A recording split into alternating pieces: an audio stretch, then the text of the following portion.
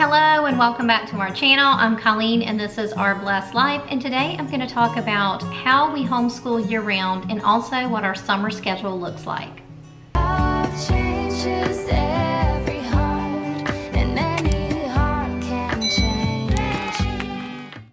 Okay, so I've gotten the question several times from many of you about how do we homeschool year round? What does that look like? How do you determine when you do your breaks and that kind of thing? So I wanted to spend just a little bit of time on that today because that question comes up so frequently.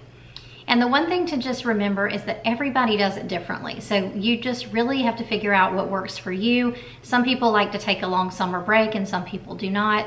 Um, we kind of have a strange way of doing it that I really don't know anybody else. I've never talked to another friend that says, yeah, we do it like that too. So our way of doing it may sound really weird, but um, it, it's always worked for us. We've done it this way for years, and it's just what we like to do. Um, it's not always exactly the same, but it usually kind of follows a pattern. Um, so the first thing that I want to talk about is the fact that you need to check your local homeschool laws, so your state's homeschool laws. So we have a couple of things that we have to keep in mind when we plan our homeschool year. So the first thing is in South Carolina where we are, we are required to homeschool under either the public school or an accountability group. And either way, the accountability group or the public school is going to tell you when your school year has to end. You can't just arbitrarily choose a date or say we don't really ever end, we just keep going. That's not an option in South Carolina. We have to choose an end date. The accountability group that we use is called SCAIHS the South Carolina Association of Independent Homeschools, and they give us a date of the end of May that our homeschool year has to end. So we don't have the option of going into June for the current school year. Both of my girls have to finish the grade that they're in, which is 11th grade for Katie and second grade for Sophie by the end of May. Wherever we are then, we have to stop, turn everything in, and this year ends. Now we can pick back up the very next day if we want to, but that starts the next academic school year.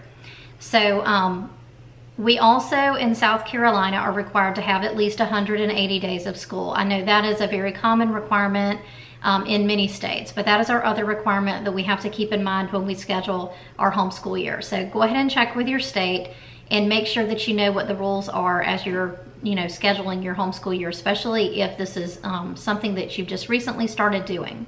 Like I said, we do homeschool year round um, and we like to take a lot of breaks throughout the year rather than taking all of our break during the summer, but we still don't do it um, like every six, we homeschool for six weeks and then take a break or take a break every quarter. We don't do it in that way. We're a little bit more flexible than that. So this is kind of what our summer schedule kind of looks like. So we usually end our current school year um, about the second week of May. Some years it's been the third week of May. And then when we do that, we take the rest of May off because if we've ended our school year, we can't begin our next school year until June. That's just how our rules are. So we can start on June 1st if we want to um, with our next school year. Um, and so what we usually do is we'll take off two weeks in May or two and a half weeks or however many weeks are left in May. We take that as like just vacation with no school. And then we usually roll some vacation over into June. So some years we've taken the entire month of June. That would be rare. Um, we did that the year that we adopted Sophie from China because we did do our China travel um, during the month of June. And we really just were not, on we were just unable to resume school, you know, quickly after coming back. That year we did more of almost like a public school schedule where we started back in August and we took most of the summer off. That was rare for us though. Normally that's not what we do. So we usually will take at least four straight weeks of school off once we finish the current school year. Um, sometimes we'll do five, sometimes we'll do um, less, it just kind of depends. So we take off some time in June and then at some point in June, um, or in some years in July, we will start back with either two day or three day school weeks. So we're still getting some time off. So we're still kind of having a summer break in the sense that we're only counting school days, either two or three um, days of that week, if that makes sense. Um, this summer, we really need to try to get Katie through economics over the summer. So we're gonna be doing three day school weeks starting sometime in June. And I'll show you what that's gonna look like in just a minute. I'll pull up Homeschool Planet and show you what our schedule looks like. Um, but that's what our plan is. And normally by about the um, third week of July, we go back to regular five day school weeks Sometimes I don't start all of our subjects back all at once. Sometimes I kind of ease us in. Um, but usually we will start with our regular five day weeks at the end of um, July. And um, since a lot of times I don't start back with all of our subjects, we are still having shorter days. So it's not like we're having a summer break because again, on the first, on the front end of the summer, we're still having like four or five day like weekends. and then as we get into July and we start with like a, a, reduced subject schedule, we're still only doing shorter days and we can still get out, um, use the pool, whatever we want to do, just, you know, do fun things in the summer. So it works really well for us. Um, and then of course by August, we are full on into a regular school year. Um, in the past, when we've done co-ops and things like that, we usually start that about the time that our public school starts, which usually in South Carolina, it's like the third week of August. Although this year it was very, very different because of COVID and like where we are um, in Hilton Head, they didn't really go back to school until sometime in September. So it was a very odd year, um, but that's not typically the way it goes. So um, that's what we like to do. And then in addition to that, um, we also take several uh, weeks off during the year. We pretty much will always take a week off in September. We like to take Labor Day week off, but we might take a different week off um, this year. You know, living in Hilton Head, that would be kind of a, um, a crowded week, so we might take a different week off than Labor Day, but traditionally that's what we've done. We usually also take a week off in October. When we take a week off in October, it's usually for travel because we like to go to the mountains in October. Then we pretty much always take Thanksgiving week off as well, the entire week. Um, and then we usually will take between two and four weeks off at Christmas, just kind of depending on how the school year is going and what else is going on, um, whether we're in a co-op or not. You know, when you're in a co-op, that really drives your school year and you don't have as much flexibility.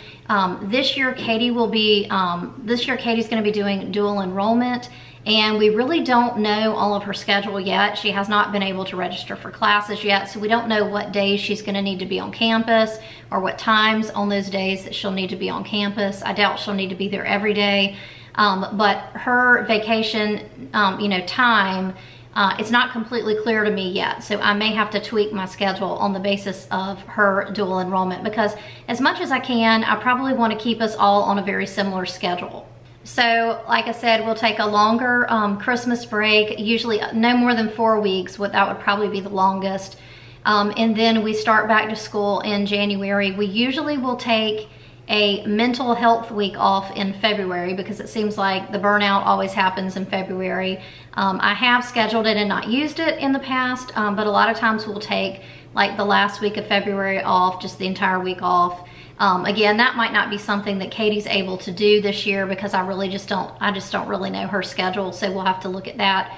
Um, and then we also usually will schedule two weeks off for spring break. However, we don't always use the two weeks. It just really depends.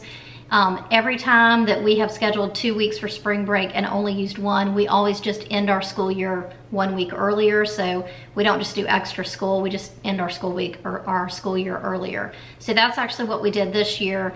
We were scheduled to end the third week of May. We're gonna end the second week of May because we did not take our second week of spring break. So that's kind of how we do it. Um, that's probably a little bit of uh, you know, kind of a lot to follow. So I'm gonna go ahead and show you on Homeschool Planet what it looks like. Um, Homeschool Planet is just an online, um, like digital planner that homeschoolers can use. Um, not everybody likes to plan that way. A lot of people like to write it down and you know, that's fine.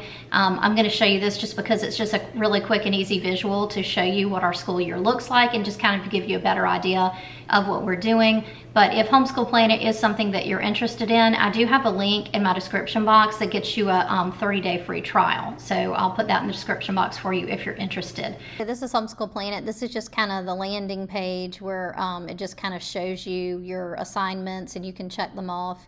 I'm gonna go to school years and um, this is the school year 2021, 2022 and um, this is kind of where I um, will go ahead and plan my school year. Right now, this is a rough draft because I can very easily take a day off or add a day. So the X's are days that we're not doing school, and the checks are days that we are planning to do school right now.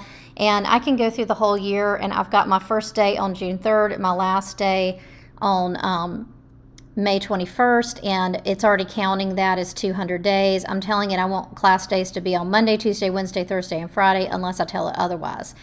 All right, so we have the week of um, May 16th and the 23rd, and then um, the week of Memorial Day off. So in May, and then we come, and then we've got the the first week of June off. So we've got four weeks off. And then starting on the 15th of June, we start three day weeks. So one, two, three, four, five days of three day weeks. During this time, Sophie will mostly be doing math and language arts, and Katie will be doing economics. Um, then we start at the end of June, um, July, and this is pretty normal for us to start full time back either this week or this week and we start back with five day weeks. And so um, this should allow Katie to get most of the economics class done um, because that's all she's going to be doing um, before she has to start her college classes, which are going to start somewhere around this like last week of August, um, at least as best as we can tell right now. Again, this is a rough draft. I'm just going to kind of go through here. Right now, I have as a placeholder um, the late week of Labor Day, I have as a placeholder the week of October 10th. Now, I picked this week. We usually actually pick the last week of October or the third week of October, but Katie has a couple of days off here for fall break, so I went ahead and chose that week for that reason. Um, then I also took off Thanksgiving week. And then in December, um, for Sophie at least, I believe Katie will be done with her college classes um, during this time as well but we're going to take the last two weeks of December off and then the first two weeks of January off. And a lot of times we don't take that much time at Christmas. A lot of times we only take two or three weeks off, but this year I was going to take a little bit more because I feel like Katie might need a bigger break having just finished her first like college semester. Um, so that was kind of my plan. However, I don't have her spring schedule, so it's possible that she'll go back the week of the 9th and we may have to kind of retract that. But again, with Homeschool Planet, it's really easy because I just click this and it turns back into a school day. Um, I don't have any time off in February because, again, I don't know her schedule, but we'll probably be taking off sometime. And I also don't have our spring break um, scheduled here. Um, and then I have us ending the third week of May. So it is likely that we'll just either do two weeks of spring break and take away a Christmas week um, and probably not take any time off in February this year just because of Katie's college schedule. So we'll just have to kind of play that by ear. But I want to also go back to our um, regular schedule and just kind of show you what this looks like sort of week to week.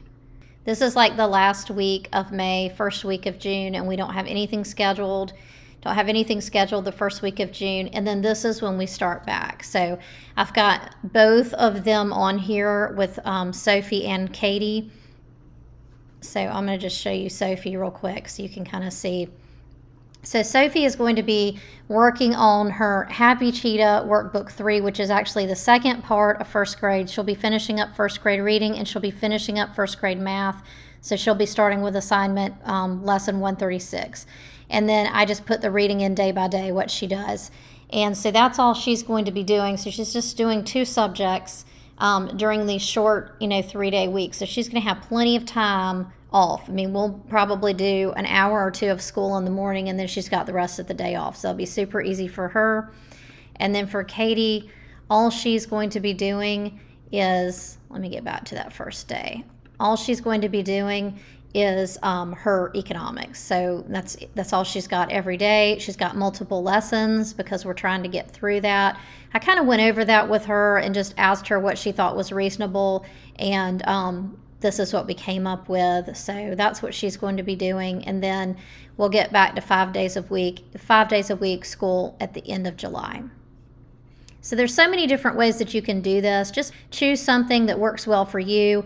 Like I said, we don't do the same thing every year. It is constantly changing and evolving just depending on what we have going on in our lives. But this is kind of our fallback on plan, you know, typically what we try to do, and it works pretty well for us. All right, so that's how we homeschool year round. If you have any questions about this or anything else related to homeschooling, definitely leave those in the comments below. I would be happy to answer those if I can. I hope you enjoyed this video. If you liked it, please give it a thumbs up. Don't forget to subscribe and we'll see you next time. Bye.